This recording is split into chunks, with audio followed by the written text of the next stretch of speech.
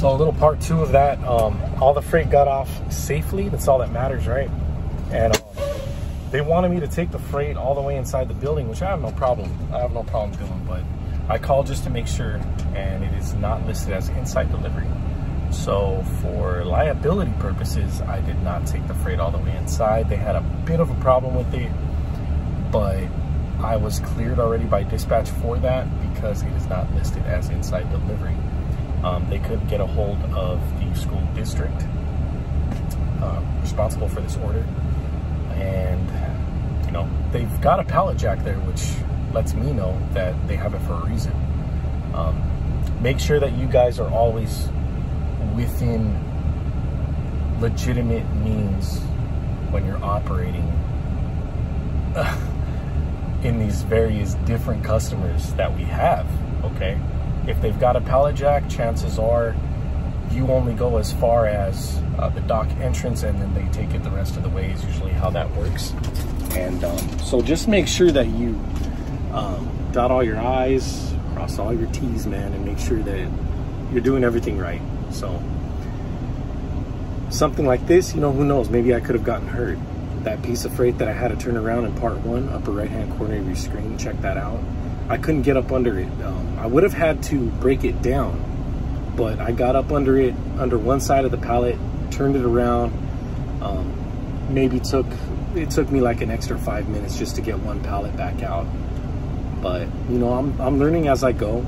The taller the freight, you definitely want to have um, that piece of freight long the, the long ways going along with the trailer you know yeah it's going to overhang just a little bit but you have to use your discretion. You have to use your your good judgment and see if it's going to work or it's not going to work. Feel the freight test it out shake it. We get paid by the hour so you're getting paid to do things safely man okay? Don't be in a rush. Take it slow. Use your common sense. Um, the shorter the freight then yeah go ahead and turn it on its side. And that's the thing, you know, with these lift gates, it's very herky jerky. Once you push that button down, keep going down. Don't stop because if you stop, it's going to cause the freight to uh, to tilt, and it could tilt in a bad position. So I also had to let a truck know that was that was next to the lift gate. Hey man, you got to move.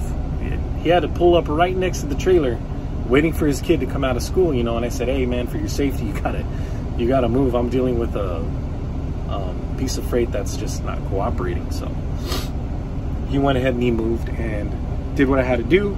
They weren't happy about having to take the freight inside, but I know they've done it before. They have um, their school custodians and you know all that type of staff there to take care of that sort of thing. So um,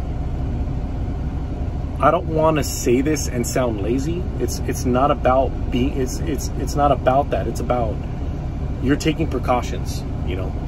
What if I had done something and hurt myself, right? And I wouldn't have had to in the first place, you know.